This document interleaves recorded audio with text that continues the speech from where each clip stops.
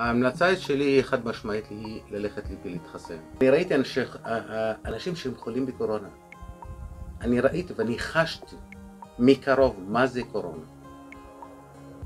אז לכן לא כדאי להתנסות בזה. חיסון האמצעי היום הוא האמצעי היחידי שאנחנו יכולים למנוע תחלואה בקהילה שלנו. זאת הדרך היחידה. אין לנו דרך אחרת.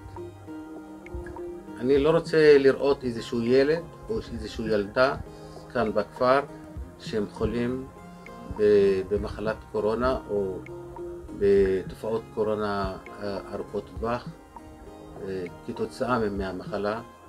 אין איזשהו תופעות לוואי מאוד, מה שנקרא, מאוד חריגות שקרו כאן בתוך, ה, בתוך האוכלוסייה, בתוך הכפר.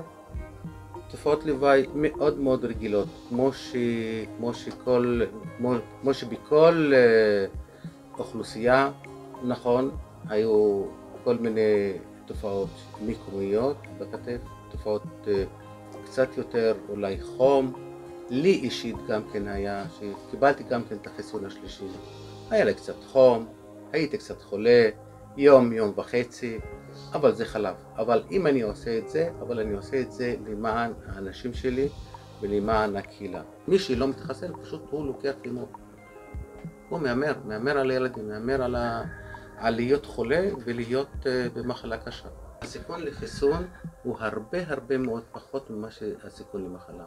אם אני הולך להסתכן במחלה, אז אני מסתכן בתופעות פי עשר ממה שאם אני מתחסן.